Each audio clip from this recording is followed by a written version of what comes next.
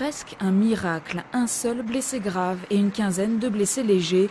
C'est le bilan de cet impressionnant carambolage qui, ce matin, sur la nationale 141, a impliqué 20 véhicules, 4 poids lourds, 70 personnes on s'est rendu compte que euh, d'une part le brouillard était important et que d'autre part les automobilistes malheureusement et je le répète n'adaptaient pas forcément leur conduite aux conditions météorologiques. Et donc dès 8h30 on avait cinq patrouilles de gendarmerie qui circulaient et comme je vous l'ai dit malheureusement euh, un peu plus d'une heure après euh, on avait ce, ce grave accident. Encore sous le choc dans la salle des fêtes de Brie, les conducteurs impliqués évoquent effectivement un brouillard important mais ils assurent que les vitesses étaient adaptées aux conditions.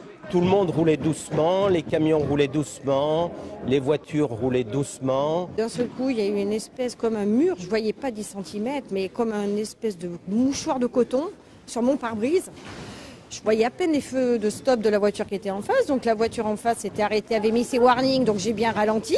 Par la suite, on a entendu des bruits de carambolage, des gros chocs comme des coups de fusil. Euh, c'était impressionnant. Car tous ont été surpris par une soudaine absence de visibilité. D'un coup, des fumées prégnantes se font sentir, des fumées qui viendraient de l'incendie encore sous surveillance qui s'est déclaré la semaine dernière à la déchetterie de Mornac. Ces fumées seraient venues aggraver l'épais brouillard. Alors sur le bord de la route, ce panneau, insuffisant pour les conducteurs. Le brouillard, c'est pas ce qui était le plus gênant parce que le brouillard on le gère, mais la fumée qui arrive, elle n'était pas prévue avant. Enfin, on n'était pas prévenu avant. C'était indiqué au moment où je me suis arrêtée et que j'ai été percutée. Les personnes impliquées seront prises en charge cette nuit avant de reprendre leur route vers l'est de la France.